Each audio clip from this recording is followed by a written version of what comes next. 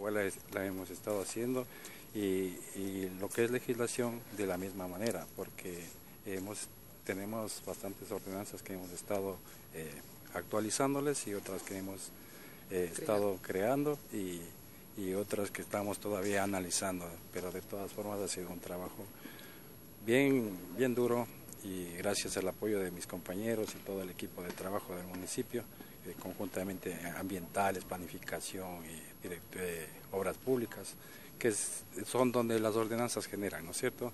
Entonces también existe el apoyo bastante del señor alcalde. Eh, ¿Qué ordenanzas podemos destacar que contribuyen al buen vivir de los ciudadanos? Bueno, como una ordenanza primordial en el tema de esto para los ciudadanos es eh, una aprobación de la, de la ordenanza para las personas con capacidades especiales, en las cuales eh, se está se está implementando en, ciertos en ciertos eh, sectores de que anteriormente no existía, por ejemplo en las veredas que existan todos los accesos igual dentro de cada una de las instituciones públicas para que puedan fácilmente acceder los compañeros con capacidades especiales. ¿Para personas con tercera edad también? ¿Algún proyecto que estén pensando hacer? O...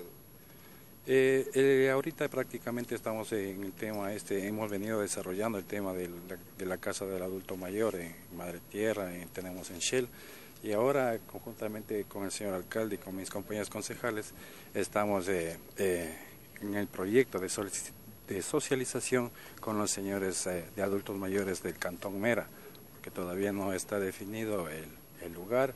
O sea, hay un lugar, existe un lugar, pero por ciertas eh, normas y no de pronto no se puede acceder allá, entonces, pero vamos a hacer una socialización hoy en la tarde, entonces, para conjuntamente con ellos conversar sobre el tema para que ellos también ya tengan una casa de, de adulto mayor acá en el, en el sector de, de Mera. ¿Qué otra ordenanza? otra ordenanza que tenemos eh, bueno, es eh,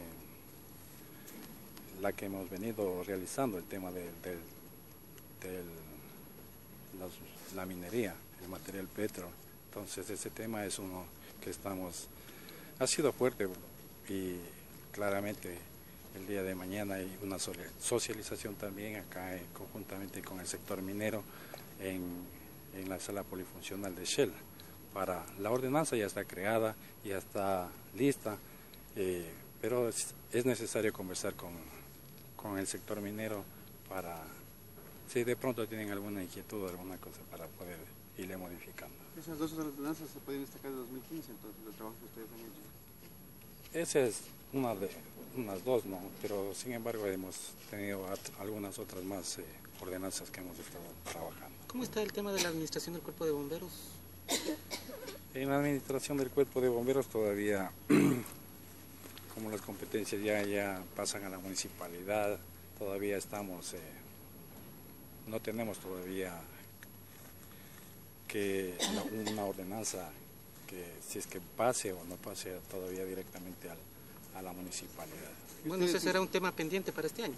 Sí, un tema bastante pendiente porque como el gobierno nos, nos ha dado bastantes... Eh, bastantes eh, competencias. competencias, entonces tenemos un municipio que es pequeño, pero no tenemos que ver cómo la forma, cómo podemos tratar de ir saliendo adelante en cada una de las competencias que nos, está dando el gobierno.